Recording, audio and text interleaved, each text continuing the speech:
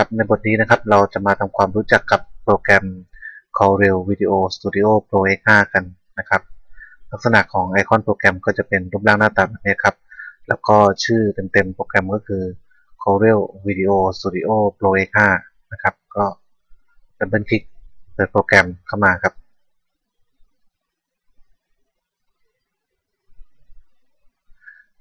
ครับเมื่อพบหน้าต่างต้อนรับก็ปิดไปนะครับ ครับสำหรับโปรแกรม Corel Video Studio Pro X5 นะครับ ก็จะมีลักษณะหน้าตาโปรแกรมที่คล้ายๆ กับโปรแกรมเดิมๆตัวเวอร์ชันก่อนหน้านี้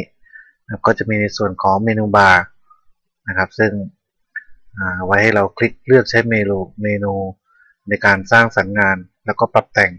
นะครับองค์ประกอบต่างๆ ของงานแล้วก็ของโปรแกรมนะครับ แล้วก็มีในส่วนของมอนิเตอร์นะครับ ก็เอาไว้ในการ รีวิวดูคลิปวิดีโอนะครับ แล้วก็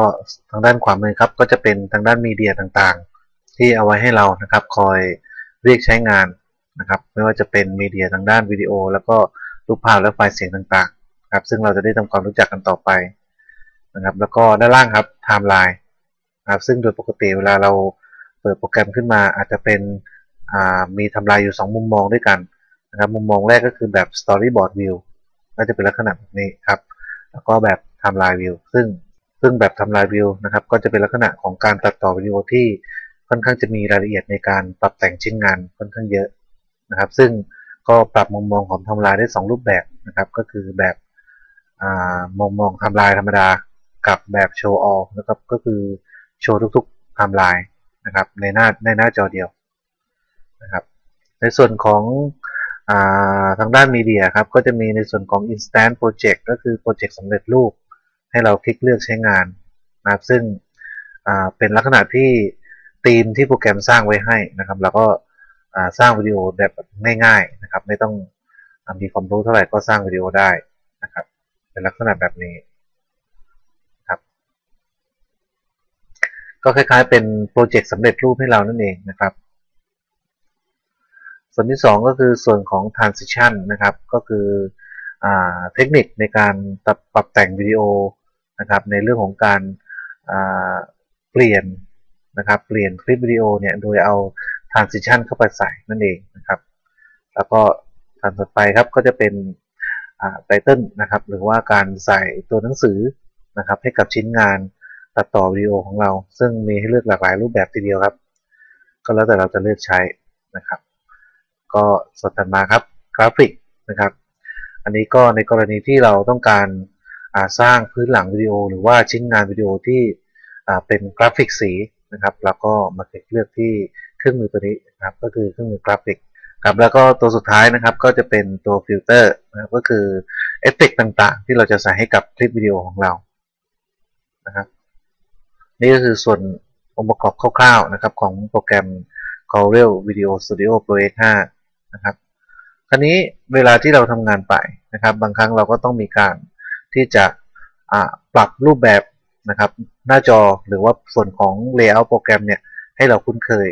นะครับ ซึ่งเราจะต้องมีการใช้เครื่องไม้เครื่องมือต่างๆของมันนะครับ ก็จะมีหลายรูปแบบทีเดียวครับก็ในส่วนของอตัวมีเดียนะครับ ก็มีการปรับมุมมองนะครับอย่างเช่นซูมอินซูมเอาให้ให้ตัวซอสวิดีโอนะครับมีขนาดที่ เราเห็นได้ชัดนะครับหรือนะครับหรือการจัดมุมมองแบบ list view นะครับกับแบบ terminal view นะครับแล้วแต่การจัดเรียงวิดีโอครับจัดเรียงได้หลากหลายรูปแบบครับแบบ by name แบบ by type หรือว่าแบบอ่า by date นะครับ by name ก็คือเรียงตามอ่าตัวอักษรจากตัวอักษรตัวแรกนะครับตัวสุดท้ายหรือจากตัวสุดท้ายไปหาตัวแรกนะครับ by type ก็คือชนิดนะครับ เรียงลำดับชนิดใหม่คลิปชนิดแบบวิดีโอ ชนิดแบบไฟล์รูปภาพ หรือว่าชนิดแบบไฟล์ audio ไฟล์เสียงนะครับและอันสุดท้ายก็คือเรียงจากลำดับวันที่ของการสร้างนะครับ จากสร้างก่อนหน้านี้แล้วมาจนถึงปัจจุบันหรือจากปัจจุบันไปถึงก่อนหน้านี้ ก็แล้วแต่เราจะปรับมุมมองของเรานะครับ ส่วนถัดมาครับออีก3ปุ่มตรงนี้ ถ้าเราต้องการที่จะ ปรับลักษณะการทำงานในช่วงจังหวะเวลานั้นๆ ให้โชว์หรือว่าให้แสดงซอสหรือว่ามีเดียของเราเนี่ยเฉพาะในส่วนที่เราต้องการจะดู อย่างเช่น เราต้องการจะดูเฉพาะไฟล์วิดีโออย่างเดียวนะครับซึ่งในที่นี้เนี่ยมัน enable ทั้ง 3 อันก็มันก็จะโชว์มาทั้ง 3 ชุดเลย ถ้าเราต้องการให้มันโชว์เฉพาะบางจุดบางส่วนที่เราต้องการจะแสดงเพื่อความสะดวกในการตัดต่อวิดีโอนะครับ เราก็ปรับอย่างเช่นผมต้องการให้มันโชว์เฉพาะรูปภาพเท่านั้น ผมก็ไปคลิก นะครับในส่วนของ Audio กับตัววิดีโอนะครับให้มันไม่ต้องโชว์ขึ้นมา ก็โดยที่คลิกอีกครั้งหนึ่งมันก็จะกลายเป็นสีสีเทาแบบนี้นะครับ ก็จะโชว์เฉพาะไฟล์รูปภาพเท่านั้น ถ้าเราต้องการโชว์วิดีโออย่างเดียวนะครับเราก็คลิกเฉพาะโชว์วิดีโออย่างเดียวนะครับเราจะเห็นว่าตัววิดีโอคลิปกับตัว photo เนี่ยจะมีความแตกต่างกันนะครับ ก็คือตัววิดีโอคลิปเนี่ยจะมีลักษณะของ ไอคอนอยู่ด้านซ้ายมือด้านบนอย่างนี้นะครับ เป็นคล้ายๆแผ่นฟิล์มส่วนตัวรูปภาพนะครับตัว photo จะเป็นรูปว่างเปล่า จะไม่มีไอคอนอะไรนะครับเราก็จะสังเกตคลิปได้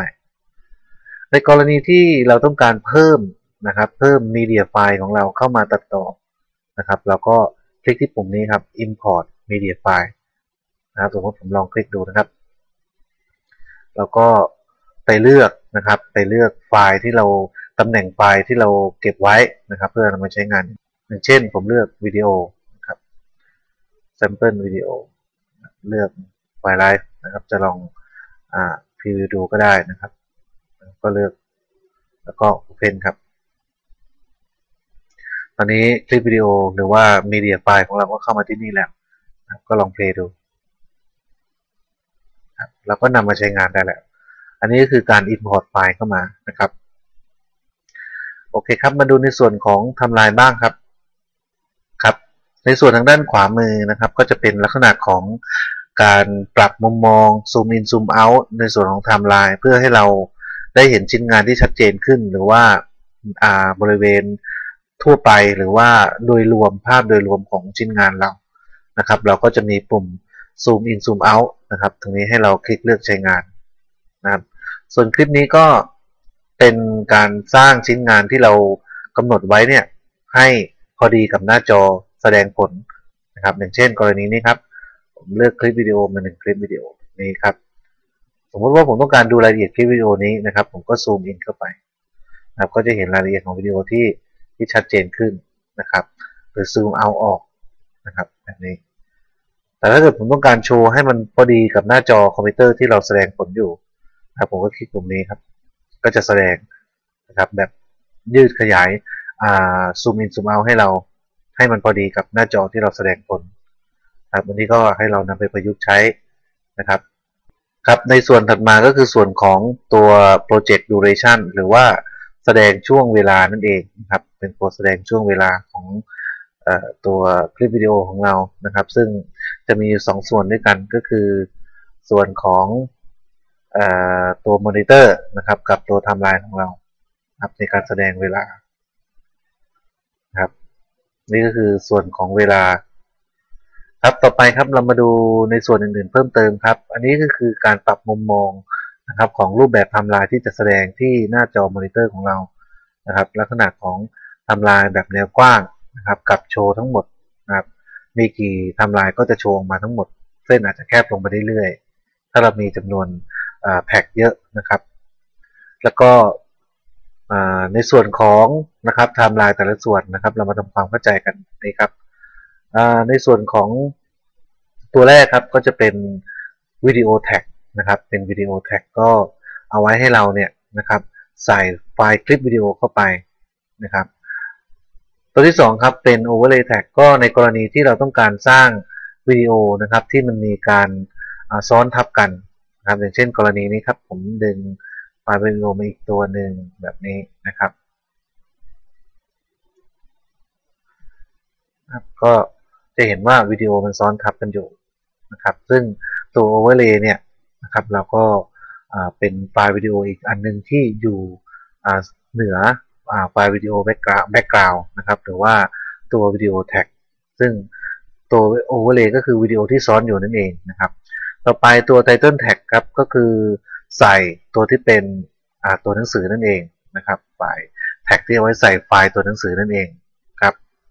ถัดมาครับเป็น voice track นะครับอันนี้ก็คือใส่เสียงที่เราบันทึกเข้าไป